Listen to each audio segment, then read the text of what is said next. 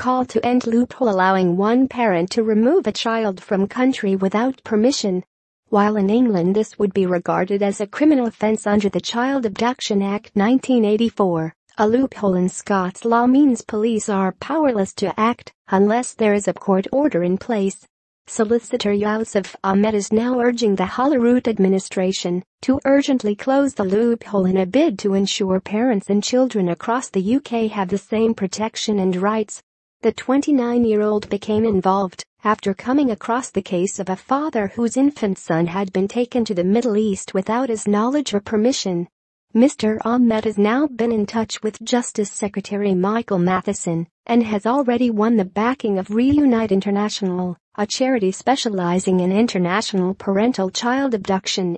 In the last year alone they have been contacted by Scots parents, mainly fathers, whose children had been taken to nations including India, Pakistan, Thailand, Sudan, Uganda, Vietnam, Australia, Canada, Italy, and South Africa without their permission.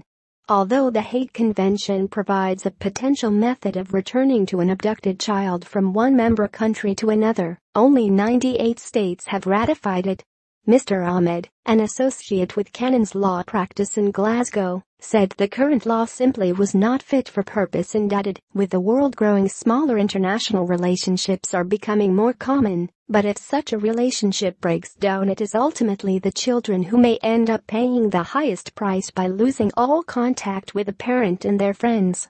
With the exception of Scotland, the rest of the United Kingdom rightfully criminalizes the wrongful act of parental child abduction. That is a form of deterrence firmly in place. Surprisingly, we do not have the deterrence here. Parental child abduction is not recognized as a criminal offense unless a court order has been obtained prohibiting the removal of a child, and that in itself raises various problems and issues.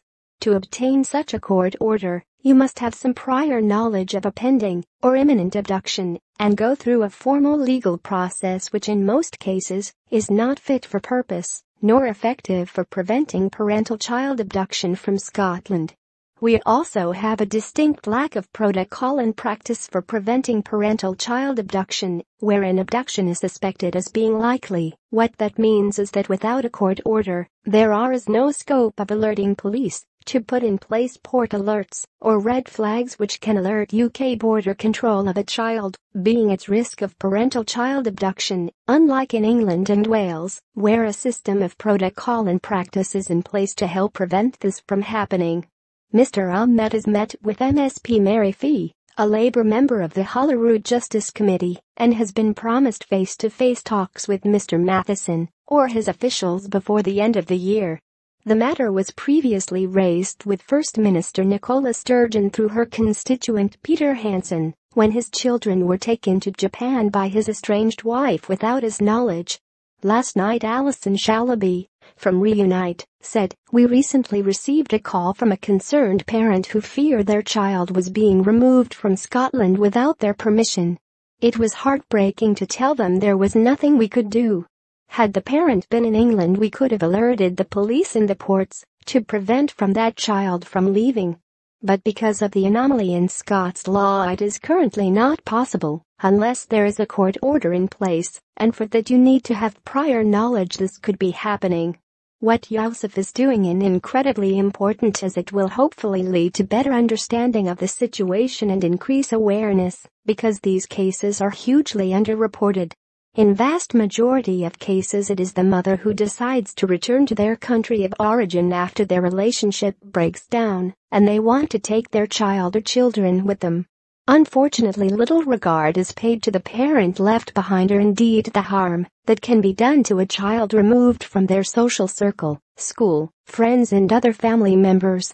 A Scottish government spokeswoman said there is already legislation in place making it an offence in Scotland for a person connected with a child under 16 to take or send the child out of the UK without the appropriate consent where a court order is in place awarding custody of the child to another person or prohibiting removal of the child from the UK.